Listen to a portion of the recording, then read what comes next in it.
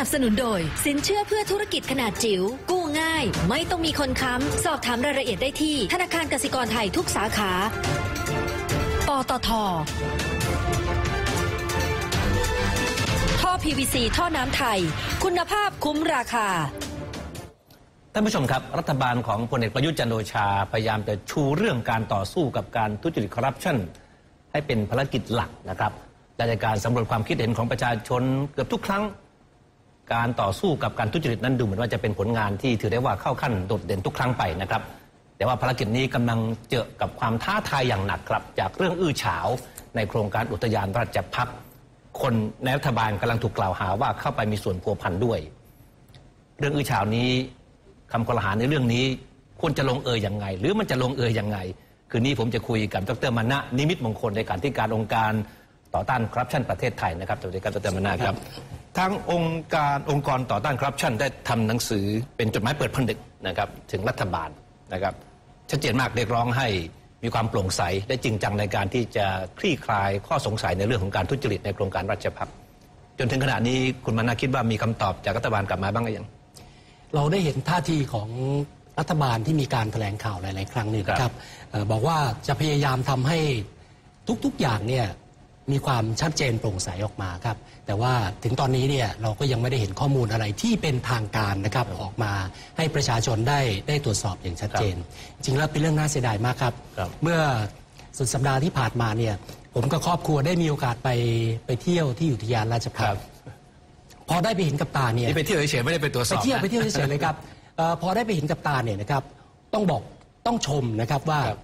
คนที่คิดโครงการนี้ คนที่ดำเนินโครงการนี้เนี่ย สมควรได้รับการยกย่องชมเชย ที่ทำโครงการได้มีสง่าราศีเอ่อเป็นการเทิดพระเกียรติครับบรรบรรพบุรุษของของคนไทยนะบรรพกบรรพกษัตริย์ของคนไทยนะครับ เป็นสถานที่ที่เชิดหน้าชูตามาก โครงการนี้และคนที่เกี่ยวข้องควรได้รับการยกย่อง แต่พอมีประเด็นอื้อฉาวเกี่ยวกับการคอร์รัปชันขึ้นมาเนี่ยความดีงามเหล่านี้มันเลยถูกบดบังไปครับนมาพูดกันแต่ว่า ตรงนั้นคอร์รัปชันหรือเปล่า ตรงนี้คอร์รัปชันหรือเปล่าครับครับ ในจดหมายเปิดผนึกเนี่ยทางองค์กรต่อต้านการคอร์รัปชันเนี่ยก็เราพูดชัดเจนมากเลยว่าเรื่องที่เกิดขึ้นขณะนี้มันสั่นคลอนทั้งความหวังและความเชื่อมั่นต่อรัฐบาลเนี่ยครับเรื่องนี้มันร้ายแรงขนาดนี้เลยเหรอใช่ครับเพราะว่าในช่วงเอ่อประมาณหนึ่งปี อายุการทำงานของรัฐบาลพลเอกประยุทธ์เนี่ยนะครับเราจะเห็นว่าเอ่อกรณีอื้อฉาวหรือทำให้คนตั้งข้อสงสัยเกี่ยวกับคอร์รัปชันเนี่ย มีน้อยมากหรือแทบจะไม่มีเลยครับนะครับอยู่อยู่ในเกณฑ์ที่ว่าดีมากเลยเมื่อเทียบกับหลาย ๆ รัฐบาลที่ผ่านมานะครับแต่พอมาถึงโครงการนี้เนี่ยทั้งที่เป็นโครงการที่ไม่ได้ใช้เงินมากมายอะไรเลยนะครับครับเมื่อเทียบกับเมื่อเทียบกับบรรดาเมกะโปรเจกต์ที่มีในหลาย ๆ รัฐบาลแล้วก็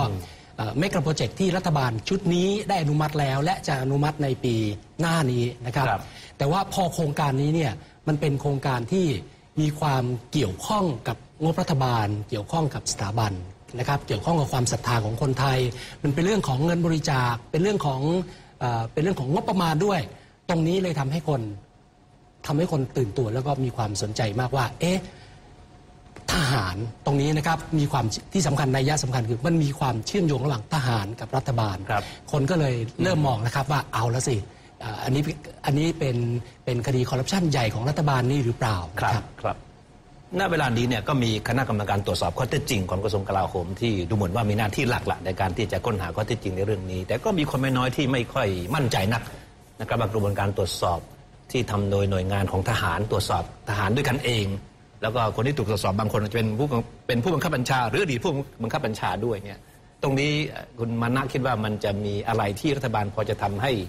มีความมั่นใจได้ไหมครับว่ากระบวนการแบบนี้อะมันสามารถหาข้อเท็จจริงได้ โดยไม่ทำให้มีคนคลางแคลงใจ มันเป็นเรื่องยากนะครับอ่าที่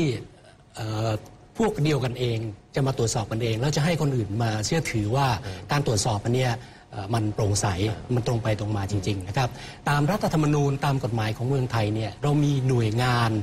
ที่เป็นมืออาชีพทางด้านการตรวจสอบ และได้รับการยอมรับของสังคมอยู่แล้วนะครับ ไม่ว่าจะเป็นปปชหรือสตง นะครับ ถ้าโครงการนี้เปิดให้หน่วยงานเหล่านี้เข้าไปตรวจสอบ ผมเชื่อว่าจบเลยครับ ประชาชนจะมีความเชื่อมั่นในทันที แต่ถ้าจะมีการตั้งคณะกรรมการพิเศษขึ้นมาทำการตรวจสอบ ประชาชนจะจะดูทันทีเลยครับว่าใครบ้างที่เป็นกรรมการ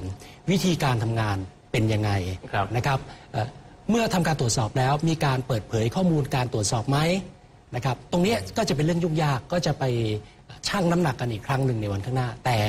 นะครับถ้าให้หน่วยงานอิสระที่มีหน้าที่โดยตรงตรวจสอบ ผมว่าปัญหานี้จะคลี่คลายได้เร็วมากเลยครับจนถึงขณะนี้มีสัญญาณไหมครับว่าทางรัฐบาลจะเปิดทางให้กับหน่วยงานอิสระ อย่างเช่นองค์กร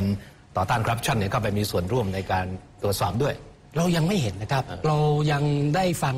เอ่อคำยืนยันจากจากผู้มีอำนาจเนี่ยก็ยังบอกว่าจะเป็นเรื่องของคณะกรรมการ ไม่ทราบว่าตอนนี้มีตั้งกี่ชุดกันที่ที่ชัดเจนนะครับ เป็นของกองทัพบกเป็นเอ่อของกระทรวงกลาโหม หรือหรือจะมีคณะกรรมการอย่างอื่นด้วยหรือเปล่าไม่ทราบ แต่ก็ในสายตาประชาชนก็ก็จะเหมือนกันครับ ก็คือเป็นการตั้งพวกเดียวกันเองมาตรวจสอบกันเองครับสมมติสุดท้ายแล้วคณะกรรมการตรวจสอบข้อเท็จจริงเนี่ยสรุปว่าไม่มีการทุจริตไม่มีคนผิดเนี่ยป ฏิกิริยาของสังคมเนี่ยคุณมานาพจะคาดเดาได้ไหมจะเป็นยังไง ถ้าตรวจสอบแล้วมันไม่ผิดก็คือไม่ผิดนะครับ เรื่องคอร์รัปชันเนี่ยเป็นเรื่องที่ดูกันไม่ยาก มันเป็นเรื่องของตัวเงินและผลประโยชน์ว่ามันไปทางไหนนะครับ แต่ถ้ามีการเปิดเผยออกมาเออที่สำคัญตรงนี้นะครับ คือมีการเปิดเผยให้คนเห็นชัดเจน อย่างกรณีกรณีอุทยานราชพักษ์เนี่ยนะครับ ถ้าจะตรวจสอบกันเองตรวจสอบแล้ว แบบัญชีมาให้ประชาชนเห็นต้องแจกประชาชนแจงรายละเอียดทั้งหมดใช่ครับ ไหม ว่าเงินบริจาคเนี่ยที่เขาบอกว่าหลายร้อยล้านเป็นพันล้าน เอาไปใช้จ่ายจริง มันไม่กี่ร้อยล้าน มันยังมีเงินเหลือตั้งเยอะอย่างเงี้ยนะครับ ถ้าแจกแจงตัวเลขได้มันมันก็ไม่มีปัญหาอะไรครับ แต่แต่ถ้าถ้าเป็น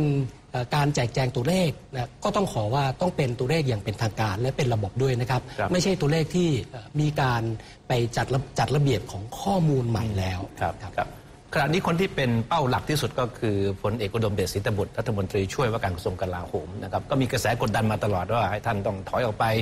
อย่างน้อยก็เพื่อไม่เป็นการสร้างแรงกดดันให้กับกระบวนการตรวจสอบเนี่ยคุณมาน่ามองว่าคุณอุดมเดชควรทำตัวยังไง เพราะว่าถ้าออกตอนนี้เขาก็มองว่าผมยังไม่ผิดอะครับใช่ไหมครับถ้าถ้าถ้าผมออกเลยเนี่ยก็หมายความผมยอมรับผิดสิใช่ไหมครับเอ่อความจริงแล้วเราเราสิ่งที่เรา เราอยากเห็นเราอยากเราอยากเห็นในในระบบการเมืองของไทยเนี่ยนะครับก็คือว่า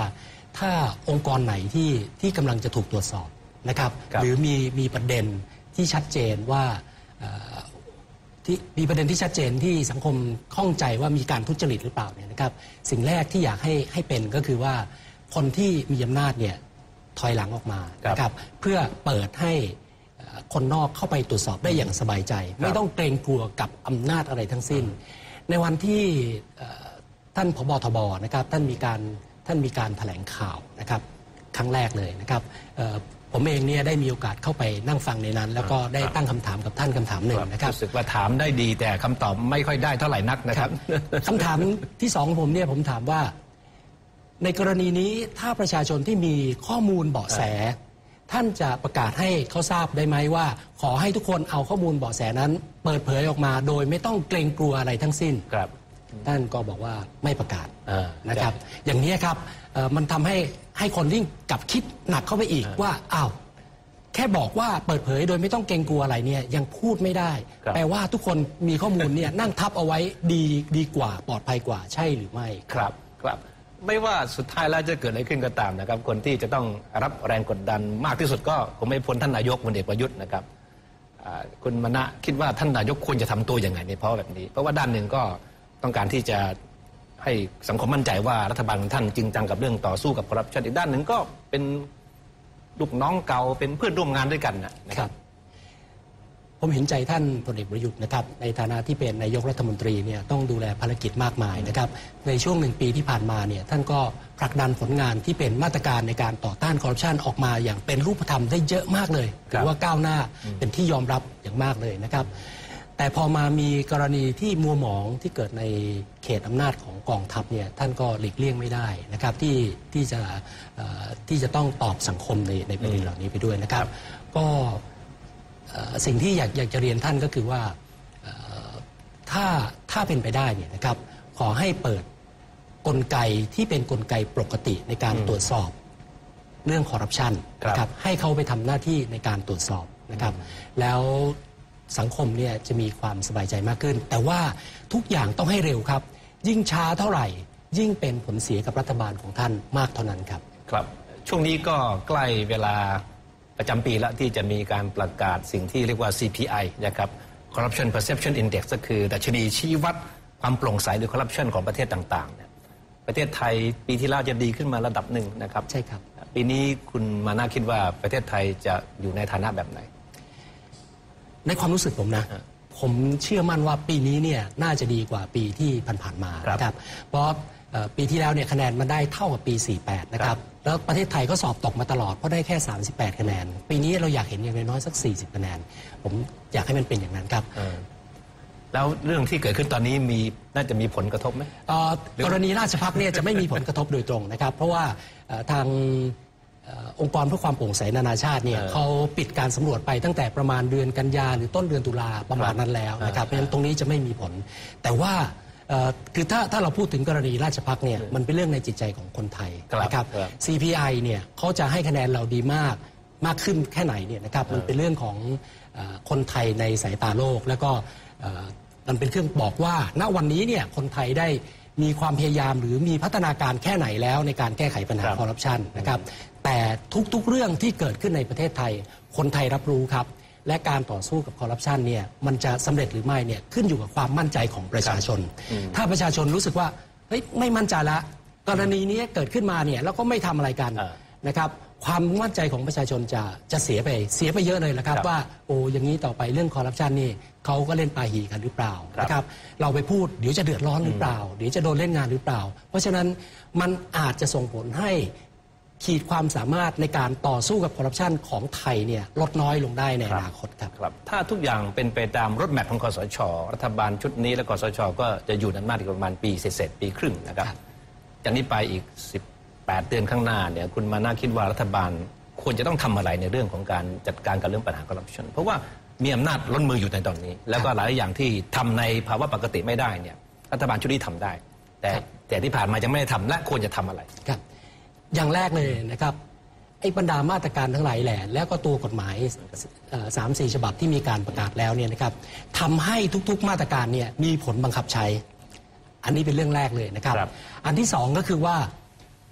เมื่อมาตรการต่างๆ ประกาศออกมามีผลบังคับใช้ ต้องทำให้คนที่มีส่วนเกี่ยวข้องกับมาตรการนั้นๆเนี่ยเข้ามาร่วมเป็นเจ้าของ มาตรการเหล่านี้ต้องไม่ใช่เรื่องของรัฐบาลอย่างเดียวนะครับ มันจะต้องเป็นเรื่องของ ของสื่อมวลชน จะต้องเป็นเรื่องของนักธุรกิจ เป็นเรื่องของประชาชน เป็นเรื่องของนักสิทธิมนุษยชน ทุกคนเนี่ยเข้ามาขับเคลื่อนมาตรการต่างๆผมยกตัวอย่างเช่นไอ้พรบอำนวยความสะดวกในการพิจารณาอนุญาต นักธุรกิจก็ต้องเข้ามาครับคอยตรวจสอบ แล้วก็รายงานว่ากฎหมายนี้มีผลบังคับใช้แล้วหรือยังนะครับ ในเรื่องเกี่ยวกับการศึกษาอย่างเนี้ยมันขับเคลื่อนแล้วหรือยังนะครับ อันนี้มีความสำคัญมากครับอันที่สามก็คือว่าจากนี้ไปเนี่ย CPI จะประกาศออกมายังไงก็แล้วแต่นะครับ ขอให้รัฐบาลเนี่ยช่วยประกาศออกมาว่า จากนี้ต่อไปอีกหนึ่งปีข้างหน้า รัฐบาลตั้งรถแมพอะไรไว้ รัฐบาลจะทำอะไรครับจะให้ประชาชนเห็นอะไร และถ้าทำได้นะครับ ขอให้ตั้งตัวชี้วัดออกมาเลยครับว่า อยากเห็นสิ่งต่อไปนี้เกิดขึ้นในสังคมไทยครับคืออยากให้เห็นอยากเห็นรถแมพทางด้านการต่อสู้กับคอร์รัปชันครับใช่ไหมครับครับ สุดท้ายนะครับคุณมานาจับเรื่องของการทุจริต เรื่องคอร์รัปชันมา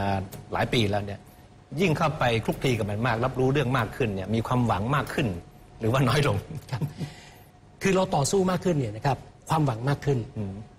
เพราะว่าทุกวันนี้เนี่ยเราได้รับความร่วมมือจากประชาชน จากสื่อมวลชน จากนักธุรกิจ จากภาคประชาสังคมเนี่ยมากขึ้นครับ ตรงนี้เป็นพลังที่เข้มแข็งในการแก้ไขปัญหาคอร์รัปชันระยะยาวนะครับ แต่ เวลาที่ผ่านมาเมื่อไปสัมผัสกับระบบงานราชการนะครับ ระบบระบบเอ่อในเครือข่ายของทางการเมืองเนี่ยก็เป็นเรื่องที่ทำให้เห็นได้ได้ความรู้นะครับที่ที่เป็นจริงมากขึ้นครับเอ่อหลาย ๆ เรื่องเป็นเรื่องที่ที่น่าเหนื่อยใจครับนะครับ แต่คิดว่าโดยพลังของประชาชนพลังของสังคมเนี่ยจะสามารถเข้าไปแก้ไขไปผลักดันสิ่งเหล่านั้นได้ครับ เหนื่อยใจแต่ก็ยังมีความหวังอยู่ใช่ครับนะแล้วครับขอบคุณมากครับที่มาร่วมรายการคืนนี้ครับสวัสดีครับครับ ท่านผู้ชมครับเราจะพักสักครู่ก่อนที่จะกลับมาพบกันในช่วงต่อไปครับ